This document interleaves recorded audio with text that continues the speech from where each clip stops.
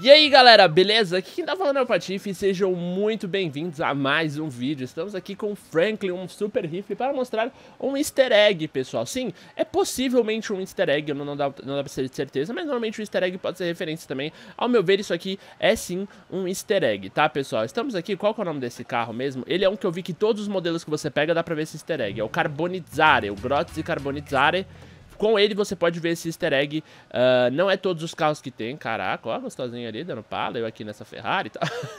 Bom, pessoal, então vamos lá, né? Uh, aqui é o easter egg, pessoal. É um mapa ele é muito encrespado, ele é muito ruim, mas é uma referência, eu não sei se é uma referência, eu acho que é um pedaço até do mapa de Liberty City, pessoal. Sim, a gente pode ver pelo tom onde o oceano fica branco e o mar e as, e as, as, as estradas e tal ficam pretas. Aqui é o GPS do carro, né, do Carbonizzare, e ali dele você consegue ver uh, uma referência ao mapa. Eu não sei se é uma referência ou se é necessária, porque ó, tem aquelas ilhas centrais que vocês podem identificar no mapa do GTA 4 e tal, uh, no mapa de Liberty City.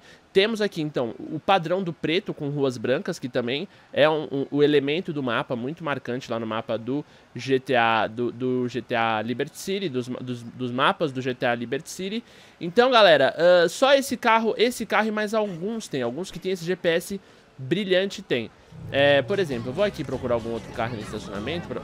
Gente! Gente, por que ele tá pegando fogo? Caraca, velho, que loucura. Caraca. O carro tava pegando fogo do nada, velho. Eu me arremessei no mano ali. Caralho, eu acertei direitinho no cara, né, velho? Também eu tava tão doido com o carro explodindo que eu não vi que eu, eu saí. Eu pulei do carro num, num chinês ali, velho. Foi muito louco. Bom, pessoal, enfim. É, puta, pior agora eu não vou conseguir mostrar de novo, né? Mas acho que deu pra ver que quando vocês voltam no vídeo aí é, e comparam com o mapa do, de Liberty City, né? Vocês vão ver que os padrões estão certos.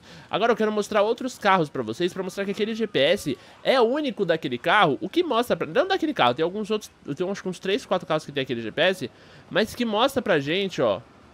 Que, cara, que, que bem provavelmente é um easter egg, né, velho? Que foi colocado propositalmente, ó. Tipo nesse aqui, ó. A gente tem o painel ali vermelhinho e tal. Aliás, que, que, painel bem feito, né? É um bagulho assustador.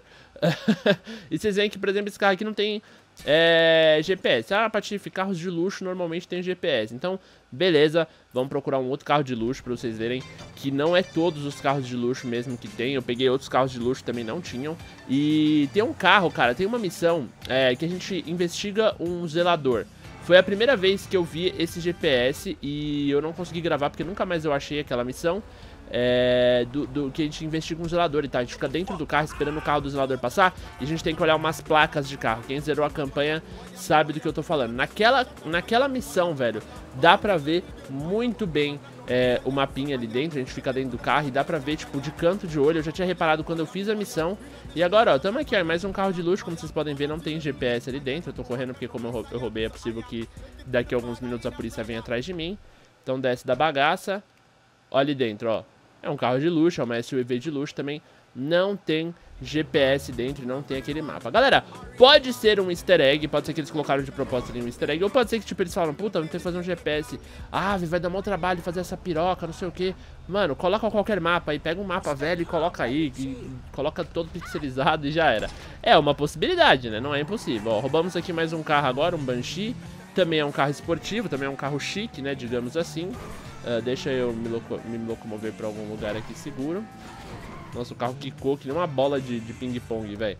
E a gente vai olhar ali dentro e mais uma vez vocês vão ver que também não tem o GPS. Olha, tem o painel dele único e tal, mas não tem o GPS também, não tem aquele mapa com padrão preto e branco. Aliás, eu não vi mais nenhum lugar aqui do jogo. Se vocês souberem algum outro lugar, alguma outra referência que pode ter aquele mapa preto e branco, me avisem. Mas, cara, ao meu ver, como vocês puderam ver ali, os detalhes deixam bem próximo aí da, do mapa de Liberty City, tá? Os padrões de cores, os padrão, o, o padrão, o formato das ilhas e tal. Não é idêntico, eu abri o mapa e procurei, não é idêntico ao mapa, mas aqui, ó, aqui tem mais um, ó. Tá vendo, ó, por trás do vidro, ó? Deu pra ver, então, ó, temos mais um carro aqui que tem. Esse aqui é um pouquinho pior pra ver, certo?